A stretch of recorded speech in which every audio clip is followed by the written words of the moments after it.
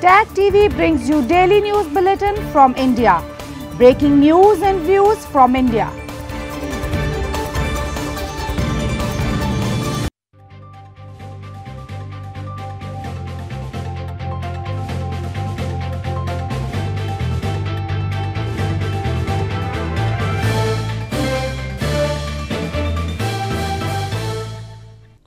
Good evening. Welcome to South Asia Newsline. I'm Surbhi Sharma.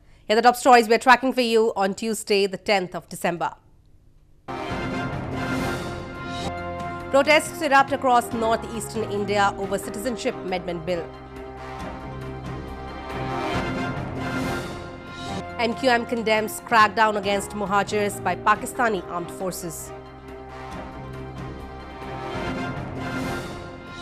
And Afghan President Ghani calls for regional international support for peace.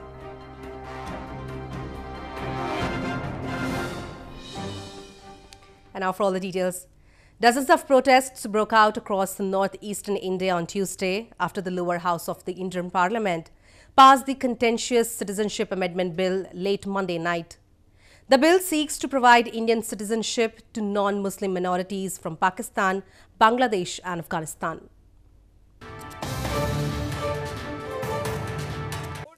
Protests against Citizenship Amendment Bill 2019 intensified in several parts of northeastern India on Tuesday, a day after it was passed in the lower house of the parliament. The protesters came out on streets sloganeering against the bill in various cities. Markets in several cities across Assam province wore a deserted look as the region observed a shutdown as a mark of protest against the bill. Several organizations, including student unions, also called for a 12-hour shutdown. Lok Sabha, the lower house of the parliament, passed the Citizenship Amendment Bill 2019 after over seven hours of heated debate on Monday. The bill seeks to provide Indian citizenship to Hindus, Sikhs, Buddhists, Christians, Jains and Parsis. It leaves out Muslims who entered the country from Pakistan, Bangladesh and Afghanistan until December 31, 2014. Protesters fear that it will primarily benefit the illegal Bengali Hindu migrants from Bangladesh who have settled in large numbers across the region. We are opposing this bill because this bill is unconstitutional, it is communal, it is against the interest of indigenous people of Assam and Northeast India as a whole and it will violate the Assam Accord which is an emotion of the people of Assam. Protesters in neighboring Tripura province said that they have become a minority in their homeland because of the heavy influx of illegal immigrants from Bangladesh. Meanwhile, security has been beefed up across the provinces of Northeast over the protest against the bill. A civilian was injured in a ceasefire violation by Pakistan along the border in India's Jammu and Kashmir on Monday night. Pakistan has been regularly targeting forward Indian posts and civilian areas for months now. Pakistani troops continue to target civilian areas along the line of control or LOC in Poonch district of India's Jammu and Kashmir, resulting in injuries to a civilian on Monday night. Local residents said there was intense firing and heavy shelling from the Pakistan side overnight, which even damaged their houses in Shahpur sector of Poonch. According to the Indian government, there have been 950 incidents of ceasefire violations by Pakistan along the LOC in Jammu and Kashmir from August to October. तो मेरा मकान भी उधर ही है मेरा समझ करो पड़ोसी है ये उधर हमारे मकान भी है टीन वाले वो भी पूरा छन्नी हो गए शाहपुर में पूरा छन्नी हो गए वो भी उनकी भी तबाही हो चुकी है तो इस लड़के के भी गोला गोला उधर लगा तो उधर जाके इसके टांग के ऊपर लग गया Earlier this month, a woman and a boy were killed and nine civilians were injured in Pakistani firing in Poonch district. Indian security officials blame that Pakistan attempts to push a number of infiltrators during ceasefire violations. In East from Pakistan, a Pakistani court on Monday asked the government to make a final decision about removing the name of Pakistan Muslim League Nawaz Vice President Mariam Nawaz from the exit control list within the next seven days. This comes after Mariam Nawaz filed a petition seeking removal of her name from the no-fly list to visit her ailing father, former Prime Minister Nawaz Sharif in London. A Pakistani court on Monday directed the government to decide over the removal of Pakistan Muslim League Nawaz Vice President Mariam Nawaz's name from the exit control list within seven days. Mariam, daughter of Pakistan's former Prime Minister Nawaz Sharif, was placed on the exit control list or no fly list in August last year in a sugar mills corruption case. She had filed a petition in the Lahore High Court last week seeking the removal of her name from the list so she could visit her ailing father in London, local media reported. In her petition, Maryam Nawaz stated that she wished to go to abroad for six weeks. Before obtaining bail last month, Maryam had been in custody following an investigation into the corruption case. The National Accountability Bureau had arrested her on August 8th. Moving on, Muttahida Qawmi Movement, the mainstream political party of Muhajirs, has strongly condemned Monday's crackdown by Pakistani armed forces against the community. Several Muhajirs were baton charged and arrested for trying to pay tributes at a Muhajir martyrs monument in Karachi. The mainstream political party of Muhajirs Muttahida Qawmi Movement or MQM chief Altaf Hussain has slammed Pakistan's armed forces for unleashing terror and brutal repression on Muhajirs in a crackdown against the community in Karachi city.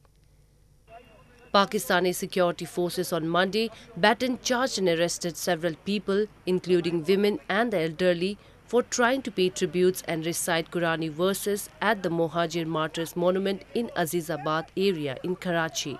The Mohajir community wanted to pay homage to the brave hearts who laid down their lives in the struggle of retrieving their usurped rights. Since 2016, Pakistan's military establishment has barricaded the monument.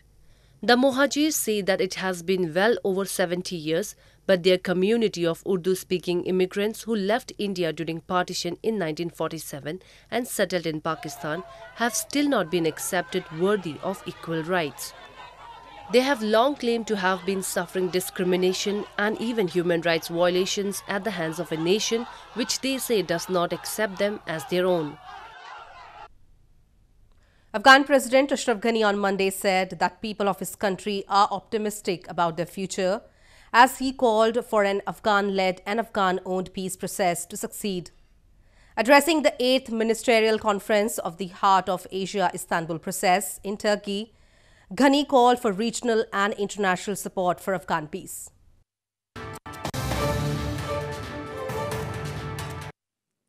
Afghan President Ashraf Ghani on Monday addressed the 8th Ministerial Conference of the Heart of Asia Istanbul process in Turkey.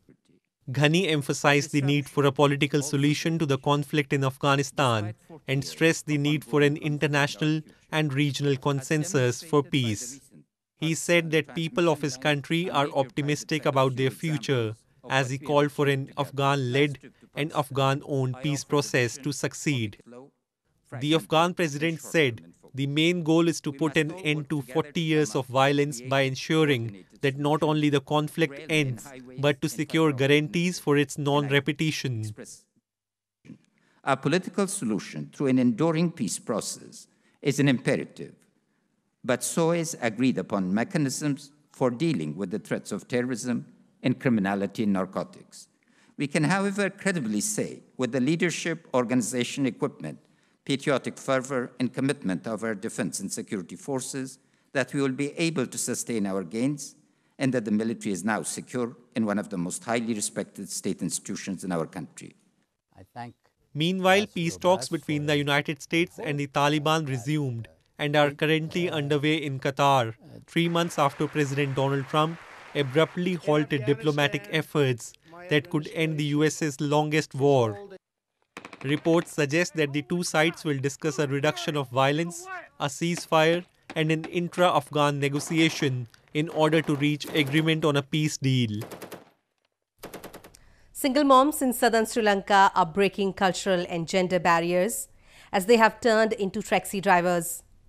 Pink tuk tuk taxis are being driven by single moms who only take fares from women and children.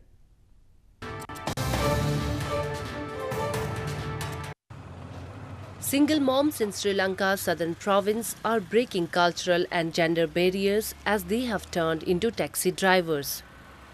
These bright pink tuk tuk taxis are no ordinary taxis. as they are driven by single moms who only take fares from women and children. This campaign called Think Pink is a charity project to beat gender-based poverty run by Rosie May Foundation, a British charity.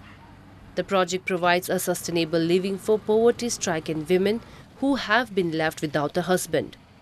With no income and no job, some consider giving up their children and send them to orphanages.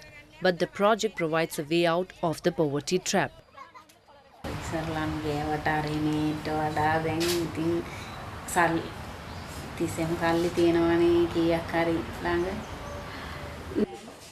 The project also has a savings scheme to help the women pay their bills and plan for the future.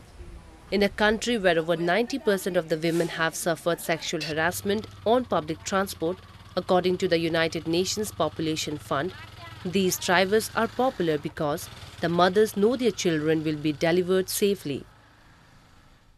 An exhibition of Chinese and Indian paintings and calligraphy was held at the Embassy of China in India's capital, New Delhi, on Monday.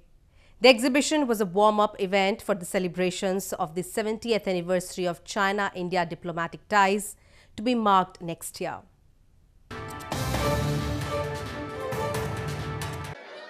A joint exhibition of Chinese and Indian paintings and calligraphy was held on Monday at the Chinese Embassy in New Delhi as a warm-up event for the celebrations of the 70th anniversary of the establishment of China-India diplomatic ties. Titled Share the Beauty, Achieve the Harmony, the exhibition was attended by a host of foreign dignitaries and artists from both China and India.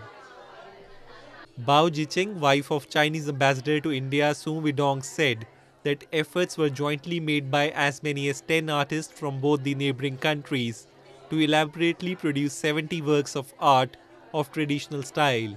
As we all know that China and India are both ancient civilizations. Chinese people always appreciate Indian culture. The leaders of our two countries, President Xi Jinping and uh, Prime Minister Narendra Modi, reached a consensus to promote people-to-people exchanges. The exhibition aimed to promote the understanding of arts and culture of both China and India and to increase people to people exchanges to further strengthen bilateral ties.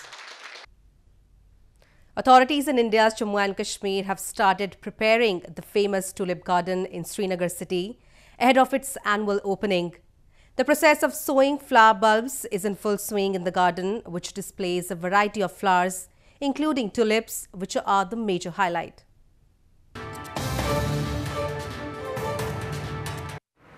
The process of sowing flower bulbs is in full swing at the famous tulip garden in Srinagar city of India's northern Jammu and Kashmir.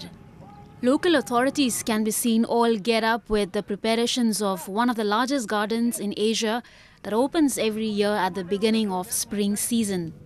According to workers at the garden, the design of the garden and the pattern of sowing the bulbs have been changed to make the garden more attractive for visitors this year.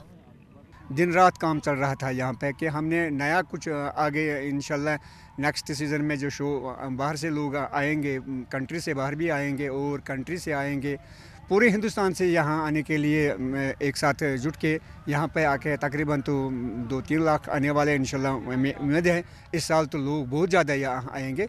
इसलिए हमने थोड़ा सा यह change किया था, gate के आगे और पीछे और दाएँ बाएँ हमने थोड़ा सा नया डिज़ाइन निकाला था। तो हमारा जो पहले हमारा शेड्यूल था, हमने सेकेंड वीक ऑफ़ नवंबर रखा था सोइंग के लिए।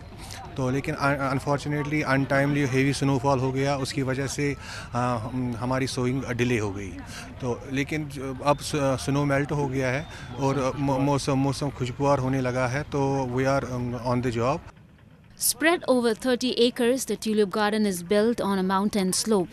The flower field has seven terraces each with different varieties of flowers, especially tulips. With more than 46 varieties and 15 lakh tulips, new flowers are added each year in the garden. Well, that's all we have for you from South Asia this evening. Now our viewers can watch the show on southasianewsline.com. You can also visit us on facebook.com slash Newsline and follow us on Twitter at Newsline. That's all in tonight's edition. We will see you same time tomorrow. Good night.